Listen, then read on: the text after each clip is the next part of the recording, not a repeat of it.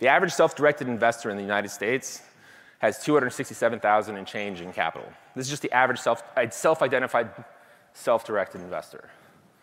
If that's who your list is made of, what's the investable capital that your list actually represents? Like there's people in here with well more than 5 million names. Like you're an access point for investors, retail investors in particular.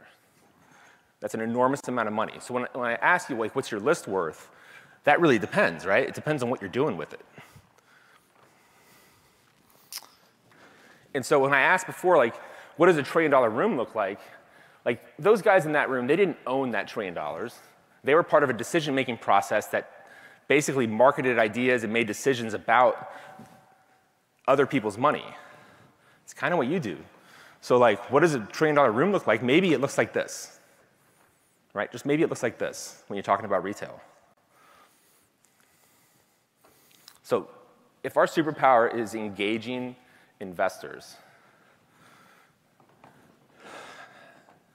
the editor, the person who the customer has put money down, not just once, but two times, three times, in some cases, five times, um, to get their advice, to get their, their investing opinion, is going to be what? How many people in their life do you think they actually take financial, um, I don't say advice because it's not advice, because it's not very specific, that's a very legal term, but who have an influence on their financial decision making? Is it three people? Is there five people? I don't think there's five people. There's not five people in my life that I'm like, when they tell me to do something with my money, I'm 100% going to do it, or even 50% going to do it. So there's a very small number of people in anybody's life who actually has an impact on their financial decision making. And your best customers, that's what your guru is to them.